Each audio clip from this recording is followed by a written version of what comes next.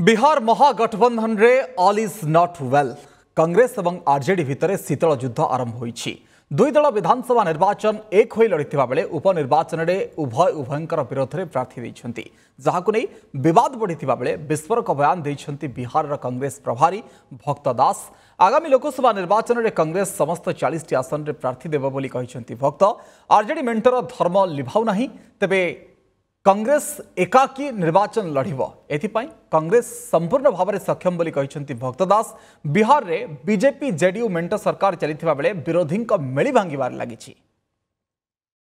चुनाव लड़ रहे हैं। खिलाफ लड़ेंगे भी और मित्रता भी रहेगा। ये कभी संभव न है? खिलाफ लड़ रहे हैं मतलब मित्रता तोड़ दिया है। जब हमारे सीट पे वो लड़ने गए हैं मतलब वो सोच समझ के गए हैं ना। उससे ज़्यादा क्या?